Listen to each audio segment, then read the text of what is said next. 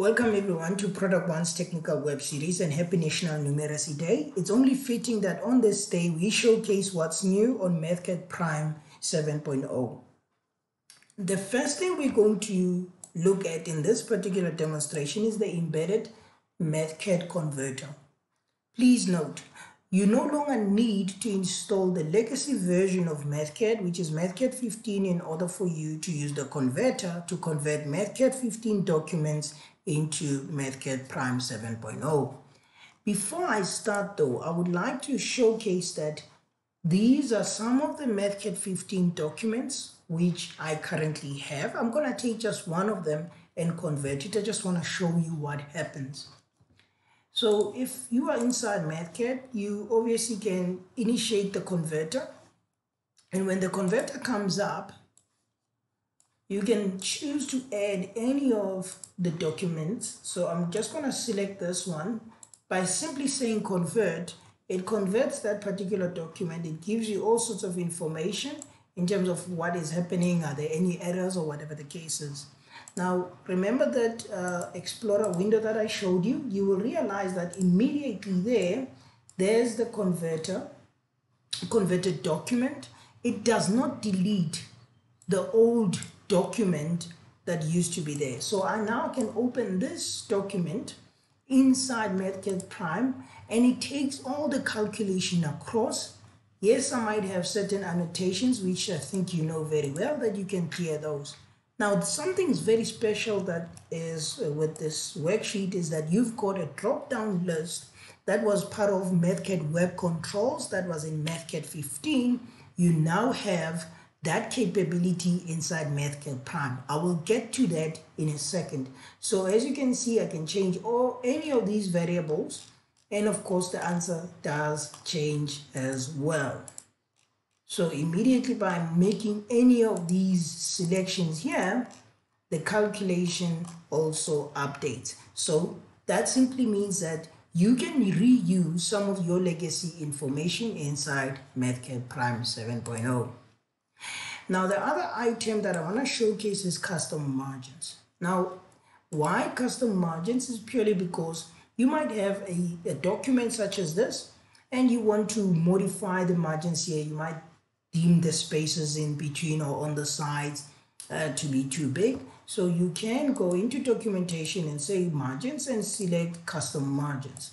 So you can of course select whatever values you like uh, to customize your margin. I'm just going to do something radical here as well. I'm just going to choose uh, 2 and because the system uh, identifies that look this needs to be greater than 6 so it's not going to allow me to execute this until I come back maybe and modify that. And just like that, I've got my own custom margin. And when you go back to this, it states the last used custom margin. So that means I get to reuse it if I want to keep the standard. The other item that I want to showcase here is spell check. Now, spell check is important because in the past, uh, you would never be able to say uh, when you let's say you're typing a document, you're making certain errors because PTC was viewing Mathcad as a documentation and a calculation, uh, what you call software, but the spell check part of it came in later. As you can see there, it showcases that that is not the right term. So I can say, right, okay, that's fine. Of course, I can go back uh, if, for an example, I want the system to show me the right spelling, I get to choose which one do I want. Now, the part of this as well, and the impressive bit is, if you can look here, maybe I'm, a, I'm an educator, I'm creating a document for our mathematics class. So I've got lesson one or written assessment in English, and I also have written assessment in Zulu, ukuhlola okubhalwayo isifundo 1 so if I want to now retain this and reuse it again, I can say, you know what? This word here, to be honest with you, it's actually supposed to be part of the dictionary. So I can add this onto the dictionary and just like that, I now have a Zulu language and English language paper. So this is brilliant for those educators that want to move into the direction of teaching people mathematics and science in their native languages. What I like about that is if I come back now and type ukuhlola ukuhlola so if I were to type that you will realize the system identifies that that is now a word that is in the dictionary. So it's something small, but it has some serious uh, impact. So the other aspect that I want to showcase here is obviously hyperlinks. So now with hyperlinks, so let's say I'm having a, a document and I want to tell people that click here for our website or whatever the case is. So I can easily say, create a link and I can now paste the URL for our website as productONE to say this is our website. So I will copy this URL here and paste it here and just like that. And I can do the same thing maybe quickly for Twitter. I will say maybe this is what I want to do. So I'm going to copy that for Twitter and maybe for references, maybe there is a certain calculation that needs a certain element of of referencing I can easily say how about I make this a reference and just like that there I've got areas where if I were to pick this it opens up the productONE website which is this the same applies with your Twitter or any documentation and so forth. So that's hyperlinks. So they are um, uh, helpful indeed for areas such as that. So now what I want to showcase here is what we call combo boxes. So you've seen a little bit of it when I was utilizing that converted file um, using that drop down list. So now with combo boxes, we have a couple of things. So if you can look here, this is an old uh, Mathcad document which I've showcased in the past where I'm picking the I-beam and then that selection gets to dictate the sizes of the cross section for this particular I-beam.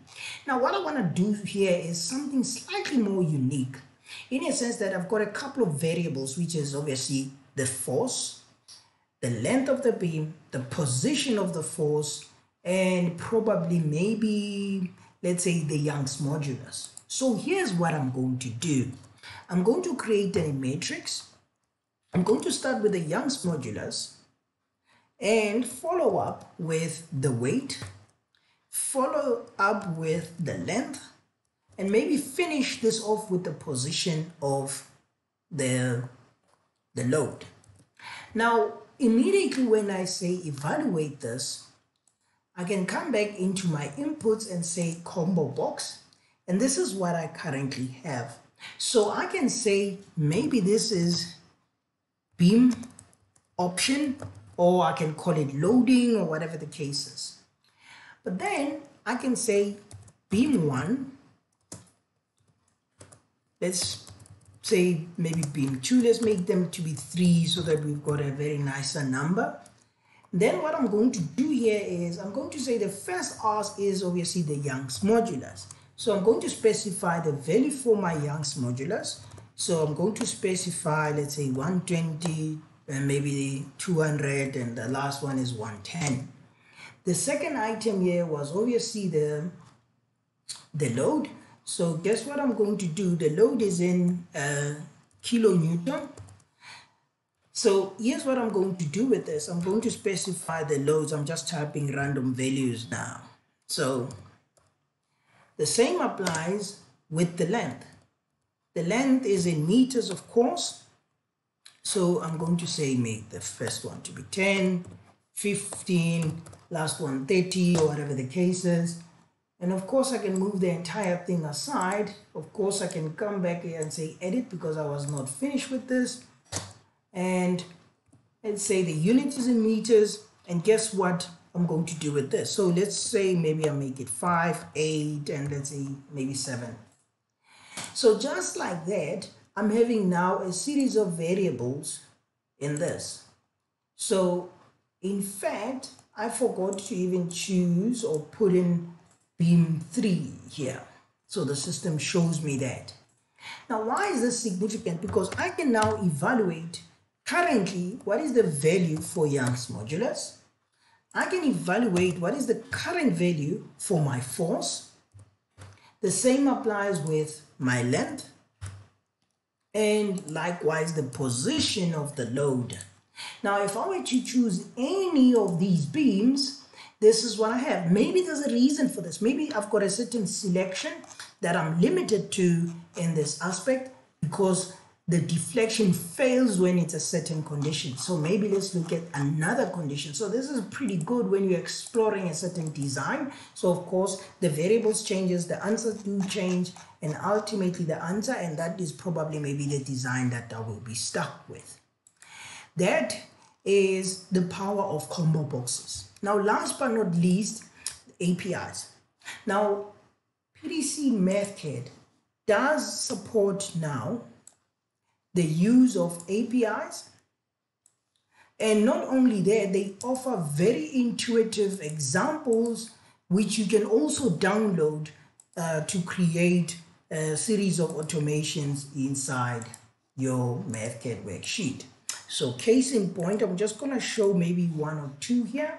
So let's say I have uh, something such as this.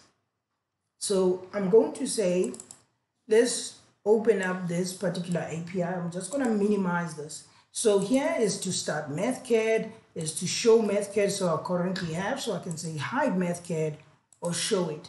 I can activate a particular window and start working on it.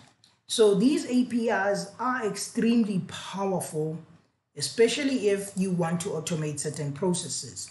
So you can also, it's not limited to, to open and closing windows, but you can actually take and push the envelope to these levels. So for an example, I like this one for a beam analysis, whereby I'm having a dialog box that comes up. Then I can open up the sheet concern. So this is the deflection of the beam. And immediately you can see that this dialog box becomes uh, active. Bear in mind that the value here actually comes from this drop down list. I get to choose. Of course, you can customize this API to have a significant number of, of units. So, but this is brilliant for organizations where they want to limit the input of worksheets. They want people to interact with, let's say, a dashboard or whatever the case is. Now, immediately when you say calculate, the values they also move from that dialog box into this. So the use case of these are extremely vast. So you can deploy certain modes of working in your environment using Mathcad Prime 7.0. That is it for this particular video. Please do not forget to subscribe, like the video, and don't forget to hit that notification buttons to see more videos such as this. Until next time, goodbye.